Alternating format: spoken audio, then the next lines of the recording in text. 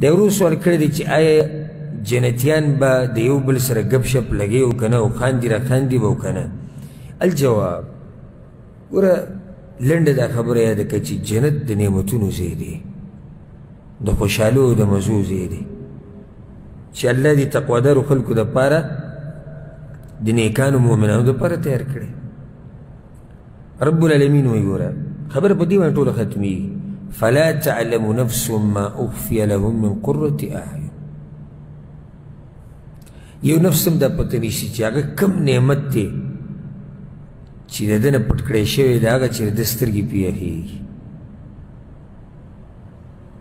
او دغه شان حدیث کې راځي ابو هريره رضی الله عنه روایت ته معروف حدیث دی علماء بار بار بیانې په صحیح بخاری کې دی پیغمبر صلی الله علیه وسلم وی الله وی أعددت لعبادي الصالحين ما لا عين رأت ولا أذن سمعت ولا خطر على قلب بشر ما د نیکانو بندگانو د پر داسې جنت الله وی تیار کړی دی چې نه یې سترګې لیدلی دی نه یې غوږ اورېدلی نه په یو زړه کې د هغې سوچ تېر شوی دی نو سوچ کې چې پای کې به څه شي قرآن کې ځای په ځای دا, دا خبره الله کړې ده وایي جنتیان چې څه غواړي هغه به ورته میلاوېږي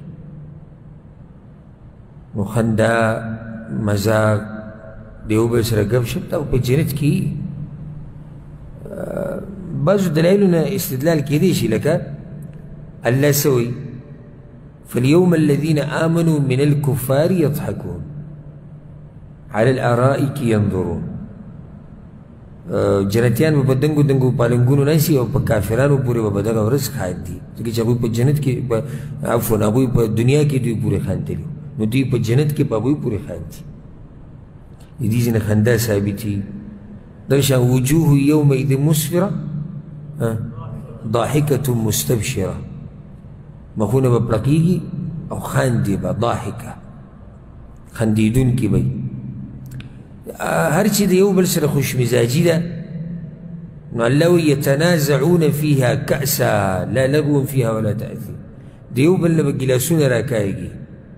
د شرابو چې هغه داسې شراب نه دي الله وایي چې په هغې کې ګناه ده یا د هغې د لاسه انسان ګډوډ کېږي دغه شراب نه د یو بل د لاسونه به اخلي راخلي دا یو قسمه خوشمزاجي ده مذاق دی لکه ته ځان له دنیا کې څه شی راولې څکې ملګری درنه لاس نه راولې راکړه زه به اول وڅکم ته نه راکړه ماله او چې د یو بل سره د مجلس کې ملګري ګپ شپ لګوي نو انشاءالله جنت کې به دا ټول هر څه اهم سوال دا پکار دی چې الله مونږ جنت ته ورسوي چې صرف دې جنت کې دا قدمونه زمونږ ولګېدو که نه هر څه به ملاو شي خو چې صرف دې جنت ته مونږ دننه شو دا ننوته غټه خبره ده جنت ته هلته ګپ شپ هلته مذاق هلته خندا هلته ډېر څه دي لکه دغه یو دلیل کافی دی کوم چې حدیث قدسی دی چې الله وی ما هغه څه تیار کړي ما لا عین رأت اوس پورې یوې سترګې مې نه دي لیدلي نو دا به څومره اوچت نعمتونه وي یو سړی جنت الفردوس ته ننوتو چې هغه الله په خپلو لاسونو جوړ کړی هغه به څنګه جنت وي یو جنت چې د هغې چت ته الله عرش دی هغه به څنګه جنت وي نو جنت کې ډېر اوچت نعمتونه یې هو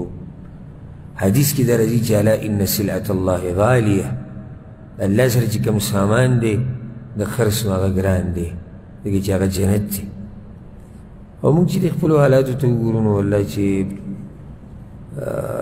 څه ووایو خو بس دغه په دې شکر دی چې زموږ رب رحمان او رحیم دی او رحمت یې پراخه دی د هغه د عذاب نه یېرېږو او خپل ګناهونو اقرار کوو راته خپل ګناهونه معلوم دي د الله دې رحم ته وګوره زه کله ناکله دې خبرې ته سوچ کوم که نه زه هم که چېرته یعنې زموږ په دې تندو یې لیکلی چې د نن پلانې ګناه کړې ده او پلانې مونږ به د یو بل سره ملاقاتونه به نه وی کړی که چېرته الله په دې تندي لیکلی انسان ته روزانه چې دی سهار راپاڅېدی چې وي د دا ګناه د شپې کړی او دا ګناه د ورځې کړی او بیا د خلکو سره ملاوي موږ به د یو بل نه پټې دی خو عرب په موږ باندې پردې راواچوي دي او داسې پردې چې د مرګه پورې پرده راواچوي الا دی چې هغه انسان ځان وشرموي په ګناهونو کې ورننوځي او پردې له ځان نه په خپله اوچتې کوي جدا مسله بیا آخرت کې ګوره سبحان الله دا مؤمن بنده چې د الله خواله راشي وی الله به ته چې پلانې ورځ پلانې وخت په پلانې ځمکه دې ګوره پلانې ګناه کړې وه هغه غلی ودرېږو او یا الله کړې مو نو الله به ته عزوي په دنیا کې د باندې پرده راچولې او نن د باندې راچوي په ورځ به الله پرده راواچي نو که چېرته د الله د رحمت او د پراخه مغفرت نه وي نو موږ مکمل تباه یو خو شکر په دې چې زمونږ رب هغه رب دی چې هغه مهربان رب دی او په لږه خبره باندې سړی وبخښي لکه حدیث کې راځي پیغمبر صلی الله علیه وسلم چې الله وخندل یو حدیث دی بس صرف دغه جمله ته بیانو یو صحابي یا رسول الله خاندي وي او خاندي وي چې کوم رب خاندي نو هغه به موږ لویه مهرباني کوي نو کوم رب چې خاندي انشاءالله هغه به موږ سره د کرم معامله کوي نو زمونږ د اعمالو ته چې موږ وګورو نو د د نیش نه لاندې دي موږ به څه یو عمل به څه الله یې دغه جنتونه موږ ته زموږ مور پلار ته او زموږ مشرانو کشرانو ته نصیب کړي